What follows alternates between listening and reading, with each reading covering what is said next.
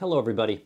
I'm on vacation in Maine. For those of you who are geographically challenged, just know that Maine is the pointy part in the upper right-hand portion of your map. Just think blueberries, black bears, and President Bush. Which President Bush? All of them. They have a huge compound here that looks just like this. I've been here many times before, but mainly for vacation.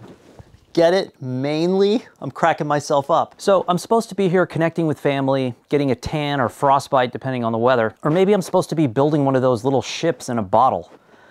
I don't know, but the problem is if you're like me and you're cursed with photography, you anytime you come on a vacation like this, you always feel like there needs to be more, that you need to be making something, that you need to walk away with something creative.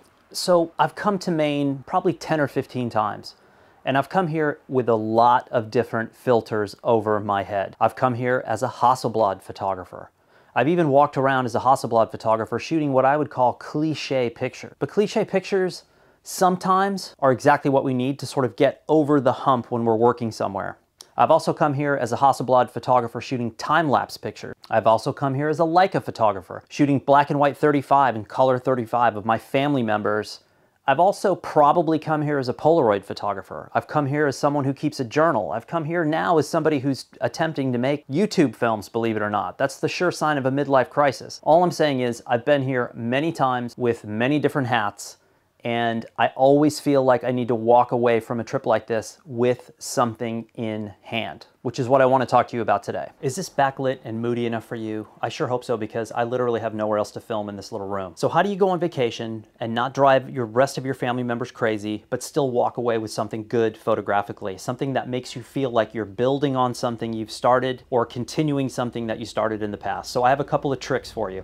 The first one is called the vignette. And the vignette means that I plant myself in a specific location. It could be downtown in the plaza, it could be along the wharf where people are going to the beach, it could be anywhere. And I basically sit and I wait for someone to start talking. Not me or someone in my party, but some stranger. And I listen to their conversation and I cherry pick parts of the conversation while I'm making observations around me. It could be about details, it could be about light, etc. Then I combine the conversation with the details and I look for a single photograph that sums up that little moment, that little vignette. And what it does is they're almost like little chapters of a book. They're one page chapters. And after, you know, throughout the day, you might be able to do two, three, four of these a day. And if you're on vacation for three, four, five days, you've got a nice little body of work. The second thing you can do is put yourself on a clock. Give yourself a timeline. Say, I have 10 minutes to make a photograph.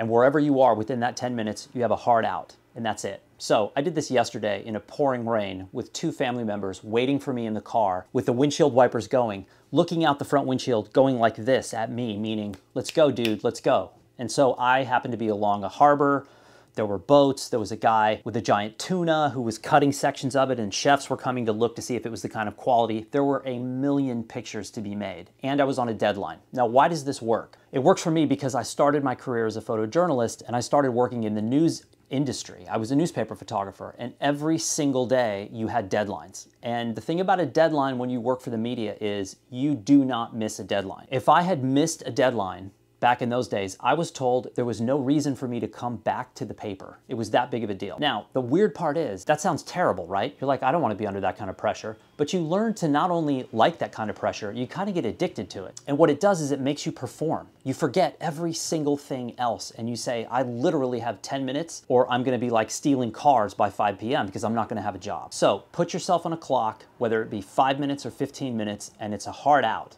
It'll train you and you'll appreciate it. Okay, another tip, mix your media. For me, I'm a journal keeper, right? I've kept this forever. Thanks, Charlene, for the journal. So I write in this thing every single day, right? It's compulsive. It's manic. I admit I've been doing this for years and years and years. I glue in maps. I do all kinds of ridiculous things. And yes, I go back later and I look at them for you inquisitive type. Oh, look, blurb, my employer. Some of you can illustrate. Some of you can sketch you're not just photographers. So mixing media, whether it be writing or illustration or watercolor or whatever it is, is also another little way of catching little sneaks, little opportunities to be creative. It's not always time that you can photograph. Last night by eight o'clock at night, it was dark. I'm isolated out here at this little motor lodge that I stay at and I could walk into town and maybe try to find something to shoot, but most often I don't want to walk into town and see if I can find something to shoot, but I still feel like being creative. So taking notes, writing overheard conversations, and doing all of these things help you round out a story. The other thing is you remember 80% of what you write down, including all the details. And oddly enough, the human brain was not designed to record intricate detail like that. The brain records a tapestry of information, and sometimes it's accurate and sometimes it's not. So mix up your media, bring some pens, bring some watercolors, bring a crayon if your, if your artistic level is where mine is at, and widen out your media choices. All right, my last tip is to choose a mini theme.